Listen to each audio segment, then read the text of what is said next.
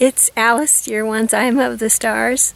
Some people have been taken in, I feel, and uh, and don't understand that the beings of light they don't like bustle you around or order you around or anything like that.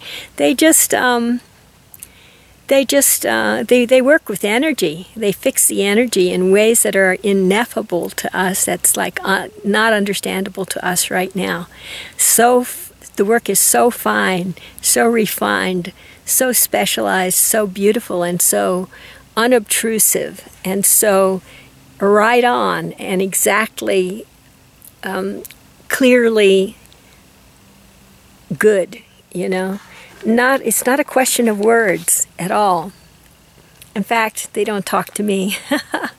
and when I hear people talking to me and trying to shove me around on the astral plane and like that and telling me like I'm in danger or like I'm not on earth and all these these incredible stories that are going around, I just say, you know, is this like Christ?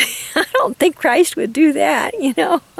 Christ would be pretty cool with the way things are and, you know, he's he'd be walking on earth just like I am, like that. And so I get very centered that way. I don't know if you're, you know, with Christ or with Buddha or, or who you look up to, but I bet you that what you look up to would say the same thing to your own heart, you know.